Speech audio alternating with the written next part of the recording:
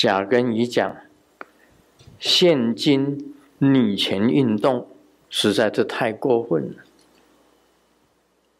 那乙就讲，你是说女人什么都占上风？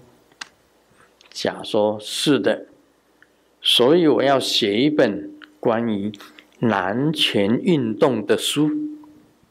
男权运动，因为现在女生都是女权运动，非常的活跃，活跃嘛。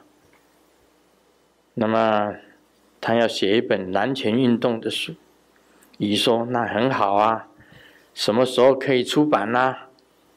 甲回答。就等我太太同意。